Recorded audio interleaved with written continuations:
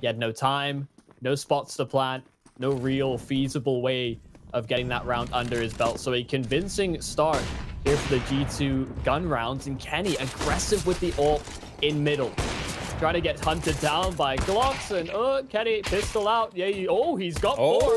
Could be an ace here for Kenny as Man is approaching from the back, but that opportunity will be missed. Kenny says, I Oh, want some of that action. is.